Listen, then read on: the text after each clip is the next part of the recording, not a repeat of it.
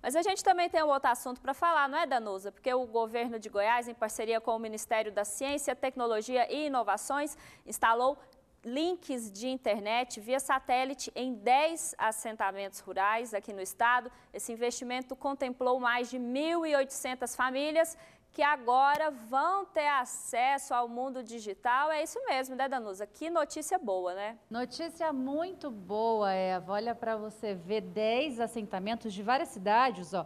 Divinópolis, Amaralina, Cristalina, Cocalzinho, Crixás, Flores de Goiás, Palmeiras de Goiás, Formosa e Bonópolis. Dez assentamentos dessas cidades foram contemplados com esse link de internet via satélite, ou seja, é, agora é, mais de 1.800 famílias que moram nesses locais vão ter acesso gratuito à internet, e isso graças a uma parceria, como você disse, do governo do estado com o Ministério de Ciência e Tecnologia. A Secretaria de Desenvolvimento e Inovação e a Secretaria de Agricultura, a sede a CEAPA aqui de Goiás, elas se uniram e conseguiram aí implantar essa internet. Então agora os moradores, os alunos, né, vão ter acesso à internet para assistir as aulas online. Nesse momento de pandemia não está tendo aula presencial, né, para fazer curso técnico, enfim, para ter acesso a esse mundo todo todo que a internet proporciona para a gente. Né? Lembrando que as escolhas dos assentamentos ela não foi aleatória, eles escolheram lugares mais distantes e também com maior número de moradores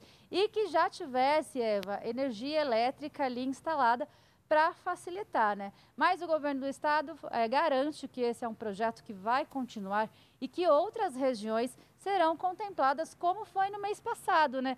Que várias comunidades calungas e indígenas aqui do nosso estado, sim, de cinco municípios, também receberam esse sinal. Então foram cinco comunidades, foram comunidades de cinco municípios, comunidades calungas e indígenas no mês passado. E este mês, esses 10 assentamentos em várias cidades. Eva? Tá certo, Danusa. Obrigada por essa boa notícia aí que você trouxe para a gente.